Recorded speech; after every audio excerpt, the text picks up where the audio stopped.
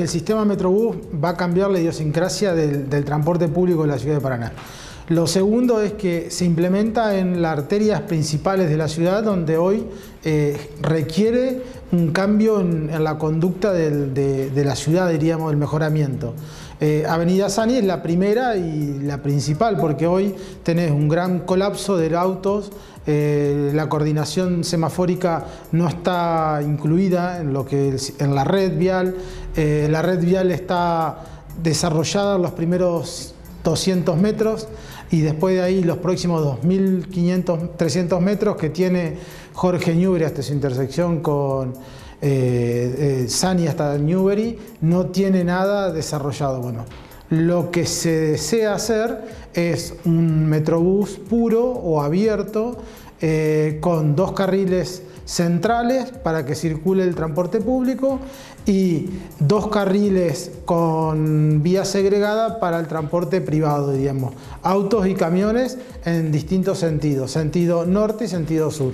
Dos carriles con vía segregada es que eh, el auto particular, el camión o la moto no puede eh, ingresar a donde está el metrobús se ponen separadores físicos, ese separador físico depende mucho de la arquitectura que va a necesitar en ese tramo de la ciudad eh, el separador. Puede ser, en algunos lados hemos visto, como en Buenos Aires, eh, es de cemento con revestimientos, en otros lugares es con conos eh, que están a lo largo de toda la traza. Se hace toda una transformación de la zona, lo que se lo que hace este sistema es mejorar la zona. Solo, de solo como se ve hoy, va a ser un cambio totalmente porque va a tener iluminación, dos kilómetros y medio nuevo de iluminación, es toda iluminación LED. Los paradores van a ser paradores centrales que van a estar en el centro de la, de la calzada. La gente va a ingresar por, tiene que ingresar como se debe ingresar al parador por, el, por la punta de la calle, por la esquina va a cruzar, va a tener un lugar de descanso para si tiene que avanzar hacia la otra calle o si tiene que ingresar al parador, tiene un lugar de descanso con una rampa para que pueda acceder al sistema. Y es importante este desarrollo ya que en esta parte de la ciudad, en el corredor de Avenida Sani, vive casi el 20% de la población de Paraná. El desarrollo del Metrobús está ligada a la obra del de, eh, desarrollo de la red cloacal, una obra que también se va a iniciar este año, ya está llamada la licitación para esta ampliación. Y esto fue algo de lo que observaron los técnicos del gobierno nacional cuando evaluaron la zona para ver la factibilidad de la obra.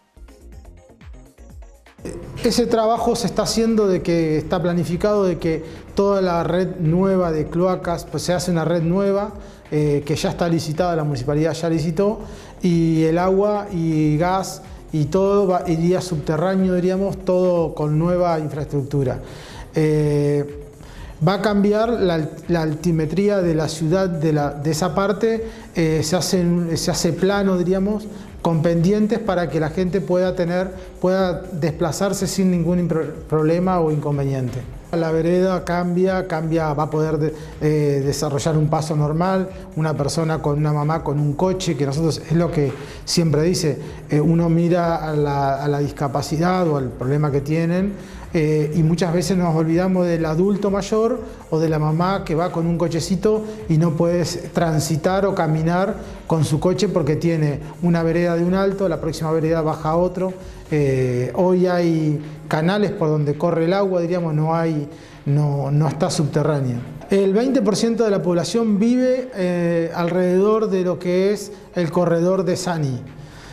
nosotros encontramos que la gente debe debe tener acceso al transporte público eh, rápido y fluido. Y bueno, y encontramos que Sani va a ser así.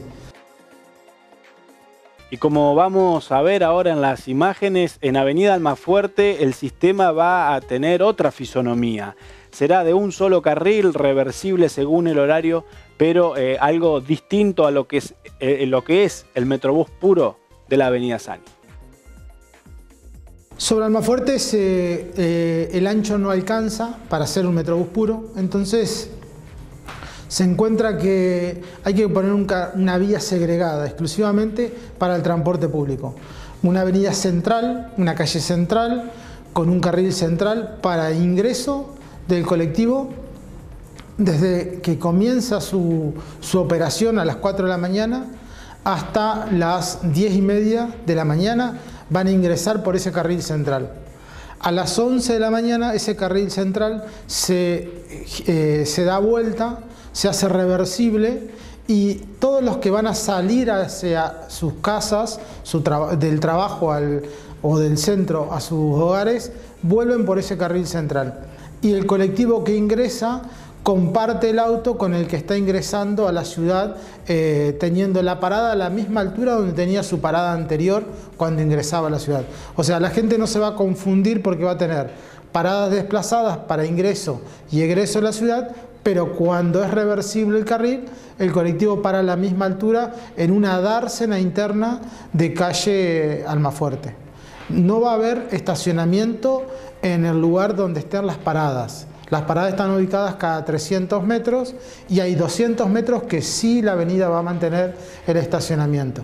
Hay dos carriles de circulación que lo mantiene eh, y, lo que se hace es tener estacionamientos donde no había hoy estacionamiento. Hay muchas partes del, corredor Almafuerte que hoy no tiene estacionamiento y va a pasar a tener estacionamiento.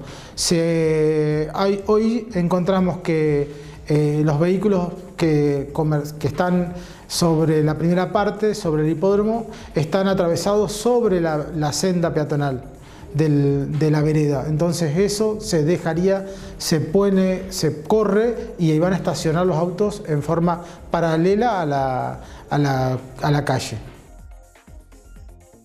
Y más allá de que hay algunas voces críticas sobre este proyecto y que todavía quedan muchas etapas y mucho consenso por lograr en relación a detalles de lo que va a ser el Metrobús en la ciudad de Paraná, sin dudas que es una gran oportunidad para cambiar realmente el transporte público en la ciudad de Paraná. Conocemos más detalles de lo que va a ser esta obra. En la, zona del centro, diríamos, la línea que van a correr propiamente sobre Sani va a ser la 12, la 14, la 4 y eh, lo que se está implementando es una línea cuadrada.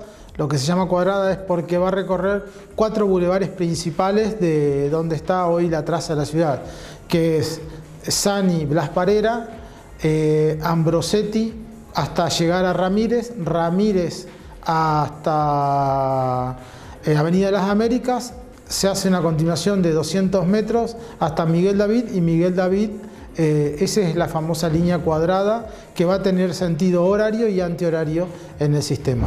Las líneas que se van a incorporar por, por calle Almafuerte va a ser la línea 4, la 22, la 23, eh, la línea 12 eh, también que, y la 14 que van a, van a acceder al... Se incorporaría la 1 y la 5 en un tramo del recorrido. en el centro van a tener su recorrido habitual hoy cambiando el sistema, se está licitando nuevamente el sistema y van a cambiar. Eh, las ventajas de este sistema es que eh, Sani va a tener un colectivo cada 6 minutos con este sistema. cada 6 minutos uno debería ir a un parador y esperar seis minutos al próximo colectivo. En Almafuerte, con la cantidad de ómnibus que va a haber, cada cuatro minutos debería estar pasando un colectivo y en la zona del carril exclusivo, que es a partir de, del hipódromo y de cinco esquinas, eh, un colectivo cada tres minutos lo llevaría al centro, lo acercaría al centro. Algunos van a, siguen de largo, para ir a tomar San Agustín y otros van a ir a Casa de Gobierno. Pero al centro específico que es la peatonal debería demorar tres minutos, en cada tres minutos un coche. En Avenida Sani lo que tiene son paradores, los paradores tienen accesibilidad, van a tener lugar de descanso para que pueda acceder. Eh, se debería tener un parador ubicado donde se pasa la tarjeta SUBE, porque en el sistema y se debería ingresar directamente y combinar, permitir llegar ahí, pasar su tarjeta SUBE y poder combinar con otro colectivo que vaya hacia otro lugar de la ciudad. Eh, eso es lo que conocen, se conoce como metrobús cerrado, que es una puerta de acceso que se ingresa y uno puede combinar con otro colectivo en otra estación que vaya hasta otro lugar pagando un solo boleto. Eso es lo, nuevo. Lo otro que se está pensando sobre ese corredor es que tuviera que tener lugar para dejar la bicicleta en, una parte, dejar la bicicleta para combinar el modo eh, bicicleta con el modo eh, transporte público. Son dos modos que se llevarían muy bien porque uno puede acceder del barrio en bicicleta, deja su bicicleta porque todo eso va a estar con seguridad, debe tener seguridad y puede combinar otro medio de transporte. Y lo importante es que estamos pasando de una ciudad eh, del siglo 19 una ciudad del siglo XX o siglo XXI. Hoy las líneas tienen recorridos de hace 50 años. Esto es nuevo, la gente debe empezar a caminar 300 metros para tener líneas rectas, para llegar más rápido a su lugar de trabajo o a su destino. Digamos. Muchas veces uno debe pasear y no tiene lugar para, llegar, diríamos, porque tiene que combinar dos o tres líneas. Acá es con la combinación de una, llegaría hasta, otro lugar. No deberían entrar todas las líneas al centro y tomar del centro a un barrio. Acá sería una combinación de una línea recta con un barrio, con otra línea de un barrio. El pavimento tiene que ser hormigón, porque el peso del transporte público y su frenada lo que hace es eh, tener defectos en el pavimento. Con el agua se va rompiendo con el paso del tiempo. Eh, el hormigón lo que permite es la mayor resistencia y mayor durabilidad y genera menos rispideces en, en la circulación del vehículo. Todo esto debe estar en los 15 kilómetros que tiene el, sistema nuevo de Metrobús. Nosotros hablamos de sistema porque más allá de que sea Metrobús puro, carril reversible o carril exclusivo, es un sistema, concepto de sistema de transporte público.